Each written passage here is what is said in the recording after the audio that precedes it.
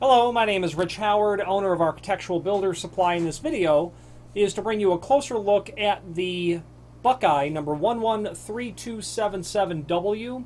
This is a hose and nozzle assembly from their, well, from a specific Buckeye model. Let's determine that now. But you know what, before we get to it, let's go over the dimensional properties.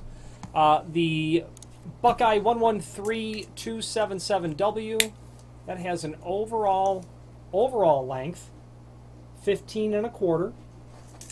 Length of what I'm sure to be the aluminum fitting down at the end. About an inch and a quarter.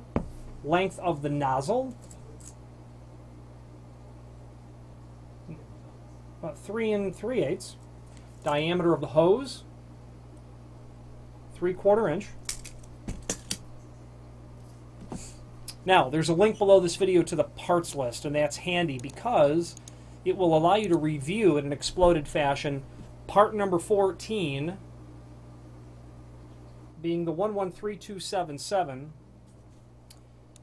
113 which is going to be for their a variety of models. The 10 the HI the SA80 ABC 10T HI SA80 ABC. They're those two models, not a variety, but those two models is where this will be used. Okay. Also, that parts list allows you to review all of the other constituent parts that you might need with this. The uh, part number 1A is very common, the hanger loop.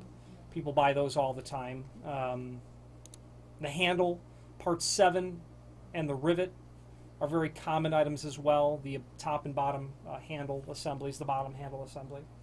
There is finally a link below this video to the manufacturer's page where you can pull up the all of the Buckeye products that we list. You can pull up the product catalog as well as a link to their website.